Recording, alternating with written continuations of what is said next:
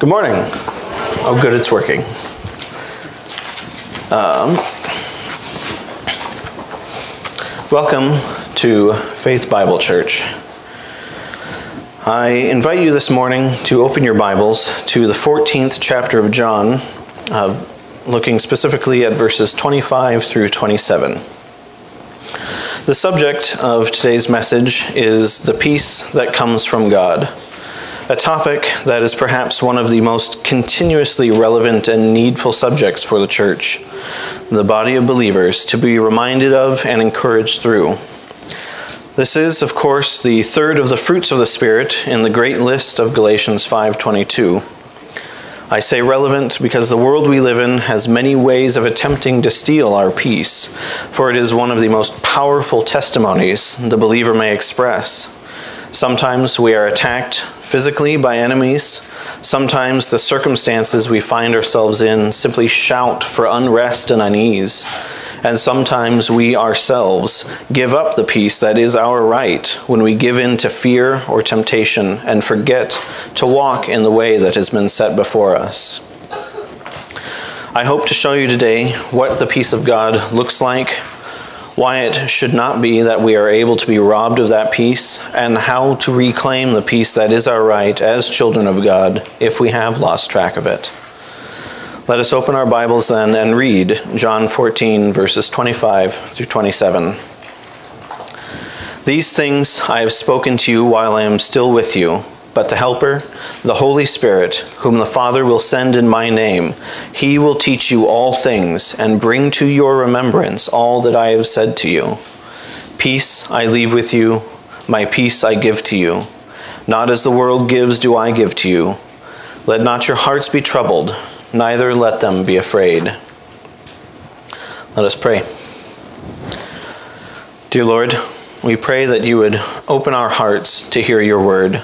Let us be sensitive to the instruction of your Spirit, that we may see the patterns of unrest in our own hearts, as well as how to bring our walk closer to being fully in step with your will and your glory. We seek not our own will, but yours, for you are the author of your universe, worthy of all glory and honor and praise. Walk with us, guide us through your Spirit to help us bring to your name the honor and glory that you are due. Help us to see your peace and rest in it. This we pray in accordance with Jesus' power and purpose. Amen. There are many factors that tempt us to live not in the place of peace, but of fear and anxiety. Hostile human activity has long been a cause of fear and anxiety, of fear and pain, robbing many of the comfort that comes from resting in the peace of God. Our own thoughts may likewise betray us, tempting us to abandon peace for panic, anxiety, and doubt.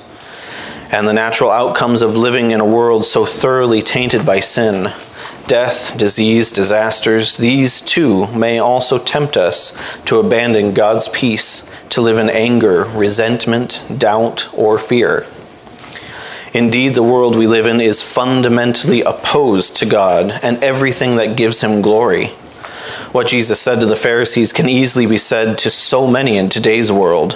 Why do you not understand what I say? It is because you cannot bear to hear my word. You are of your father the devil, and your will is to do your father's desires. He was a murderer from the beginning and does not stand in the truth, because there is no truth in him. When he lies, he speaks out of his own character, for he is a liar and the father of lies. But because I tell you the truth, you do not believe me. Since the world then is opposed to God, it is opposed also to us who belong to him. The prince of this world, the devil, prowls like a roaring lion, seeking to devour all that he can, and to tear apart what he cannot devour. It is no wonder then that the world is filled with terrors on every side war, plague, famine, disasters. Sin stains the world and fills it with death and wickedness. Our own flesh works against us as well. Paul cries out, Wretched man that I am, who will deliver me from this body of death? We are living souls tethered still to the fallen flesh that we were born into. So many temptations come from within us, from our sinful flesh. Temptation to rely on our own strength, to seek security in large bank accounts, to glorify ourselves and our accomplishments with fine clothes, fancy cars, and homes. We are tempted to think, How righteously am I living? while all the time our pet sins crouch behind the door, ready to pounce on us and curl up in our laps as we stroke them and feed them. Those sins of pride, covetousness, or self reliance. These, at least, are called virtue in our world today. Pride. Each person is empowered to define reality or morality as it suits them. Covetousness. Advertising and the free market encourage us to be discontent with what we have already, to get more, to buy more, newer, bigger, better idols. And self reliance be independent. Stand apart from your fellow man. Store up food for yourselves, land, money. No one will give you what is needful when hard times appear, and neither should you be expected to give to others in their need. Do these, sound, do these things sound like you? Have I struck a chord that rings jarringly, dissonantly in your heart? Brothers and sisters, I hope not. But I see in myself the seeds of these sins. And until we are freed from the sinful flesh we dwell in now, we will need to be vigilant against them. But none of these things, fallen humanity, the sin stained world, or the body of death we each of us wrestle with, none of these should be able to strip us of peace. They shouldn't, but sometimes they still do. We are not perfect. Indeed, we will not be perfect until we are restored fully in spirit and flesh by Christ Himself on the final day. But the peace of Christ should rule in our hearts, just as the word of Christ should dwell in us richly, as Paul writes to the Colossians in chapter 3 of that letter. And in 2 Thessalonians, he writes, May the Lord of peace himself give you peace at all times in every way Again, in Philippians chapter 4, and the peace of God, which surpasses all understanding, will guard your hearts and your minds in Christ Jesus. Finally, Christ himself says in our passage for today Peace I leave with you, my peace I give to you. Not as the world gives, do I give. Let not your hearts be troubled, neither let them be afraid. So let us start at the beginning of the verse. These things I have spoken to you while I am still with you. The things that Jesus is speaking of here are his final lessons for his disciples before he is taken away from them, tried, and executed. He has told them yet again of the very nature of his being, what he is about to do, and what the disciples will do in the aftermath of his arrest and crucifixion. He spoke to them of his love for them, his enduring watch care and protection. He again told them of his divine nature and his unity with the Father. He spoke to them of how they should be towards one another, how they should be different from the world, being of service to one another, counting others as more than themselves. He spoke to them of the privilege they will have, able to ask the Father for anything as they walk in His commandments. These men had the inestimable privilege to walk beside the Lord and see and hear everything he did, to eat the bread blessed by him beside the sea which fed 5,000 men. They saw him raise Lazarus from the dead. They saw him walk across the Sea of Galilee. They listened as he taught the people. They heard him explain the mysteries of the parables. They could ask him anything at any time, and he would answer their questions. How blessed were they to be chosen as his disciples. But even given all that, it is only a prelude, for he has a greater promise. But the Helper, the Holy Spirit, whom the Father will send in my name, he will teach you all things and bring to your remembrance all that I have said to you. Even now, after witnessing Jesus' entire earthly ministry, seeing his great works, and hearing every message he preached, the disciples still did not really understand whose they were and whom they served. That would not fully come until this promise was fulfilled on the day of Pentecost, after which their lives, their motives, and their hearts were fully immersed in the Spirit of God we say a radical change from the fearful, cowering disciples who fled and hid and denied after Jesus, after Jesus was arrested to the bold, defiant, confident apostles who stood before the Sanhedrin and declared, Let it be known to all of you and to all the people of Israel that by the name of Jesus Christ of Nazareth, whom you crucified, whom God raised from the dead, by him this man is standing before you well. This Jesus is the stone that was rejected by you, the builders, which has become the cornerstone. And there is salvation in no one else, for there is no other name under heaven given among men by which we must be saved.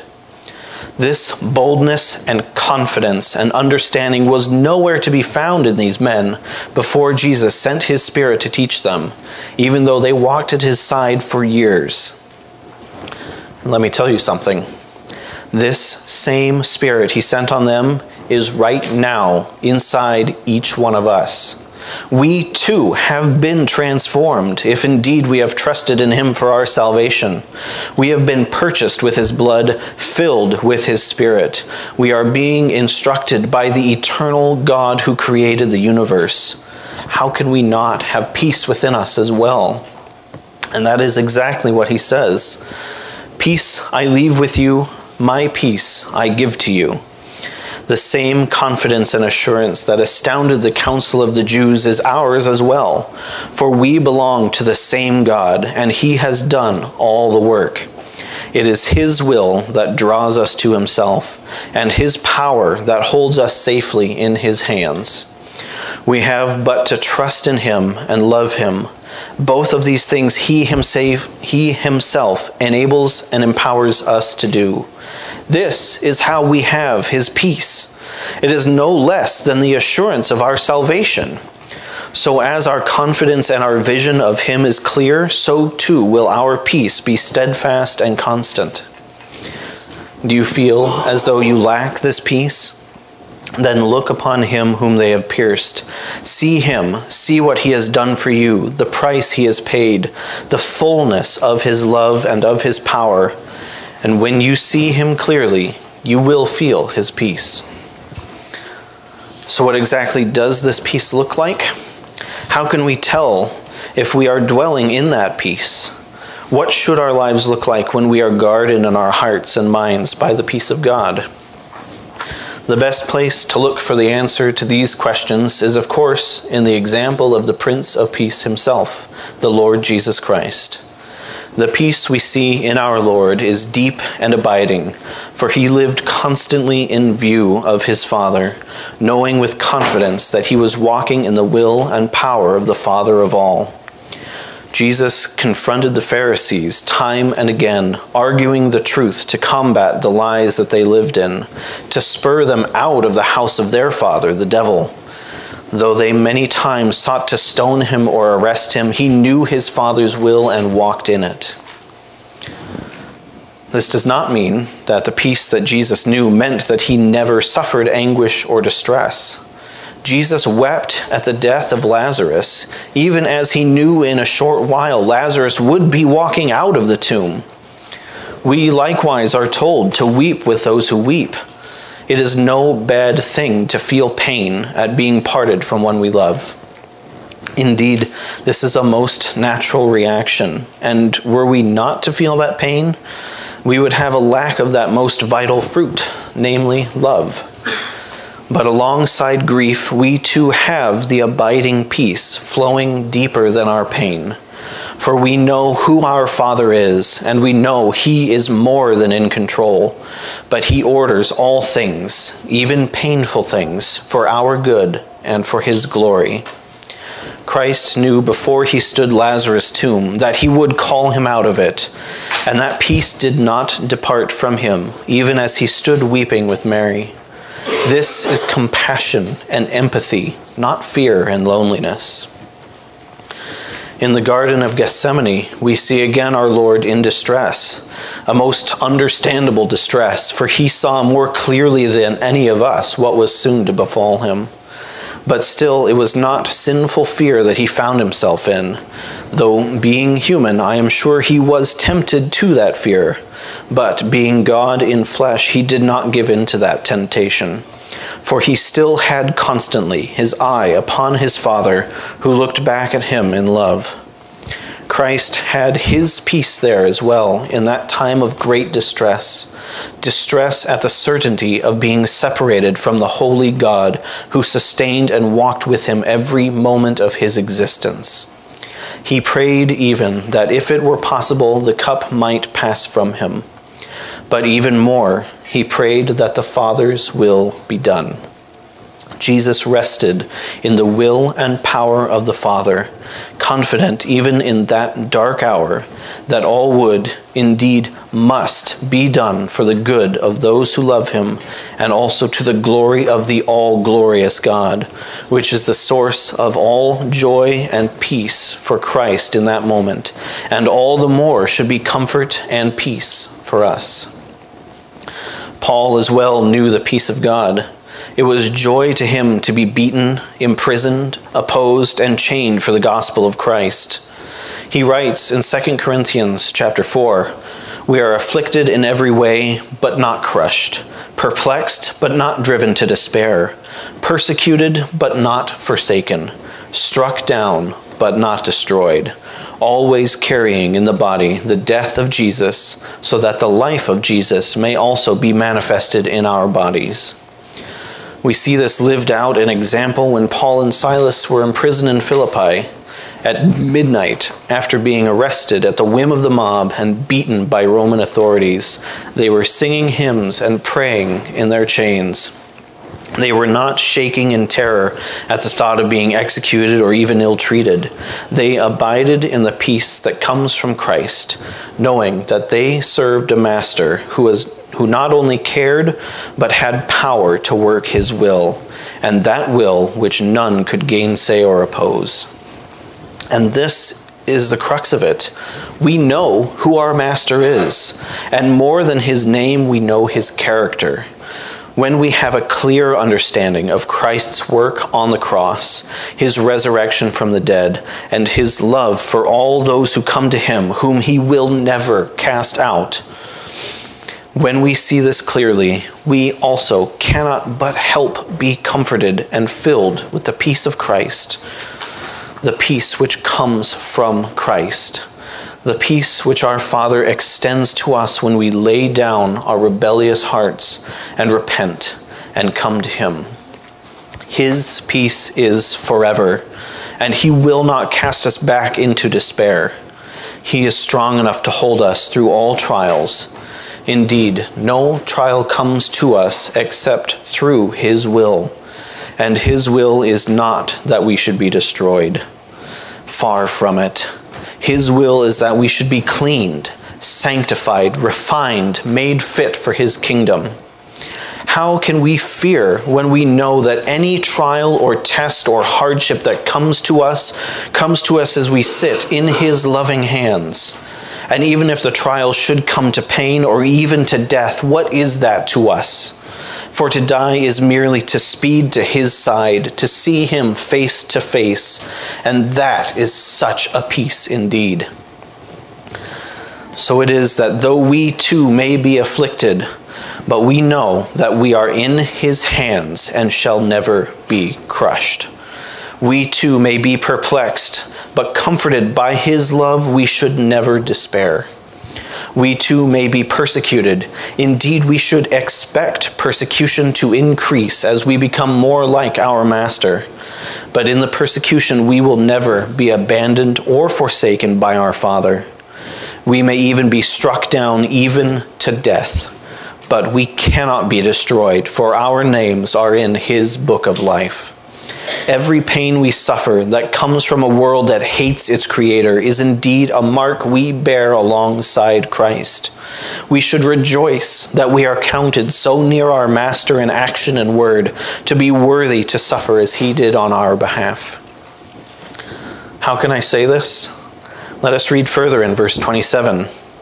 Not as the world gives, do I give to you. He gives us peace, and not like the world gives. How does the world give? The world gives grudgingly, conditionally, or not at all in spite of its promises. The best the world can offer in terms of peace is a short respite from want, though often when we look to the world for peace, we trade one kind of unrest for another. Though our woes on one side are abated for a time, we have new ones ready to hand to fill the prior woe's place. This is not how Christ gives anything, least of all his peace. He gives freely, fully, abundantly, overflowingly. He gives in good measure, pressed down, shaken together, and running over. Ephesians 3:20 says we are not even able to comprehend how abundantly he gives. He gives us not only the gift, but the tools and power to use the gift as well. And why does he do this?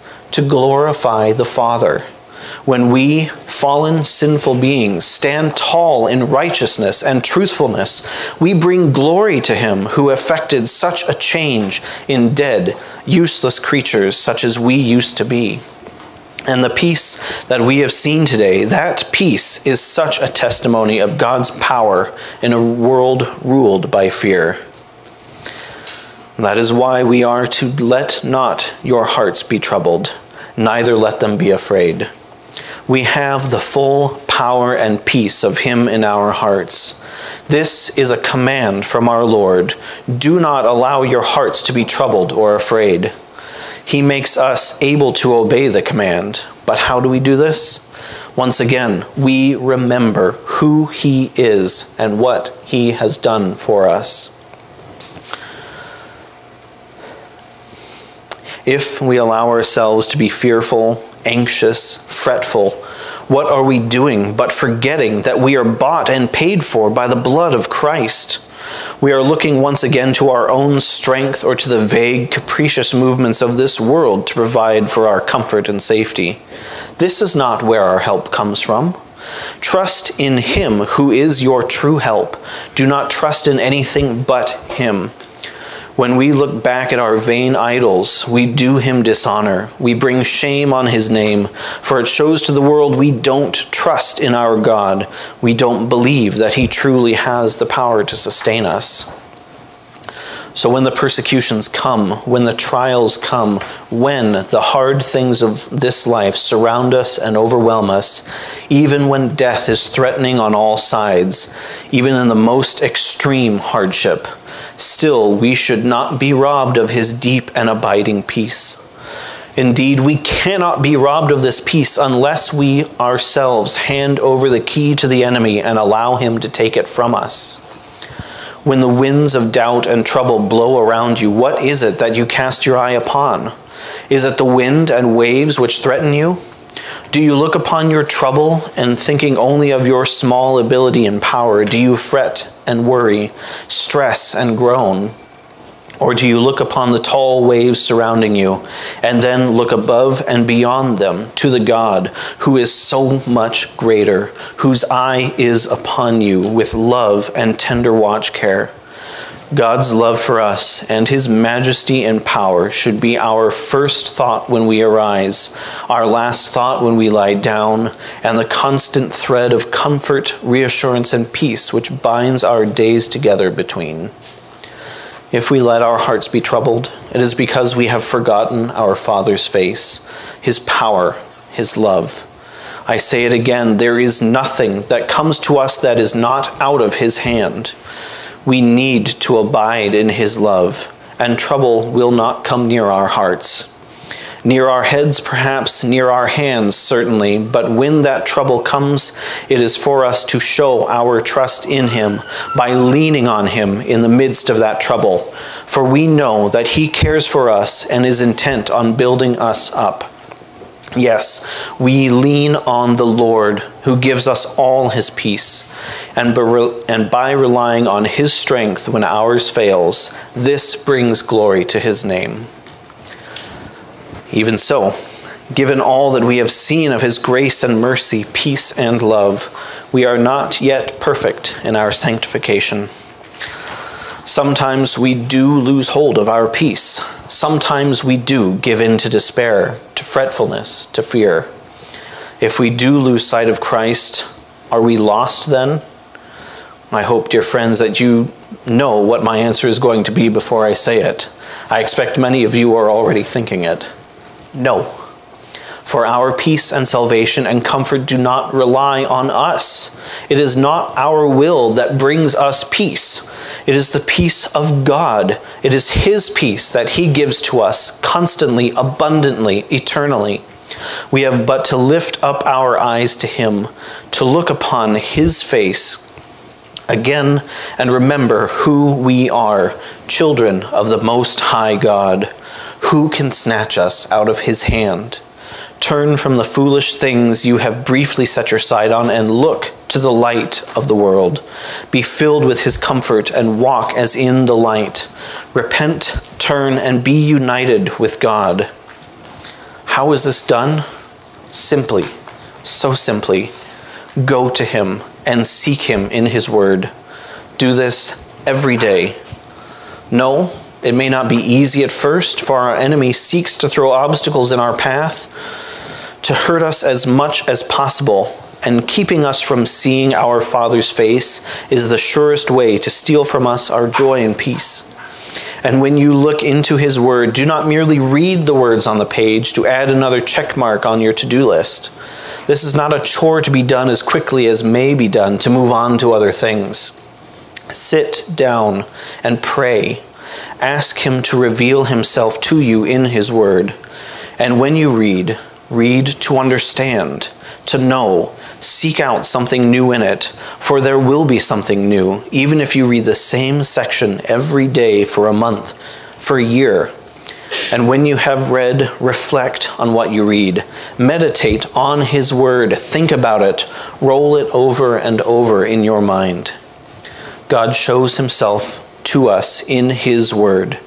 And when we see Him clearly, that is when we are best able to follow His example. When we see Him clearly, that is when we can easily look beyond the troubles that surround us and see Him above the trouble and beside us.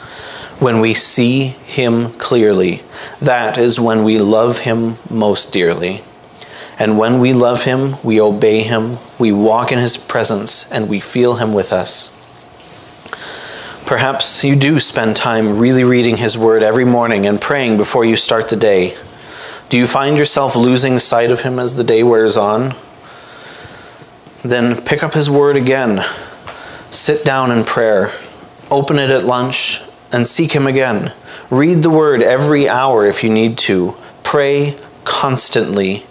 Do not allow the enemy to steal your peace. He can only take it from you if you hand it over yourself remember who you are. Remember what He did, what it cost Him. He took our sins upon Himself. He willingly went to the cross and bore the punishment that we all deserve. He took the curse for us, purchasing our souls, our lives, with every drop of His blood. He endured the full wrath of the Holy One that our sin demanded. He did this out of love for us. He died that we might live. He rose again from the dead to prove his word is truth. And as he rose, so too we will rise on the last day to the eternal glory of our Father, who defeated death, fear, and mourning. We will rise at the dawning of his eternal peace. Let us pray. Father, we thank you for the peace that you have given to us through your Son, Jesus the Messiah, through his sacrifice in our place, and through his glorious resurrection, bringing praise to your name. We thank you as well for sending to us your Holy Spirit to teach us and guide us. Let us therefore be sensitive to his work, refresh our hearts through him if any here lack the desire to know you better, I pray especially now that you would touch that heart of stone and replace it with a heart of flesh to know you and love you and bring you glory. Let us all, Lord, be seeking you first of all and most of all. Let us all bring you the glory you deserve through hearts that know your perfect peace. You love us, Lord. Help us to love you better. In the name of Jesus Christ of Nazareth, who was crucified and whom you raised from the dead, we pray. Amen.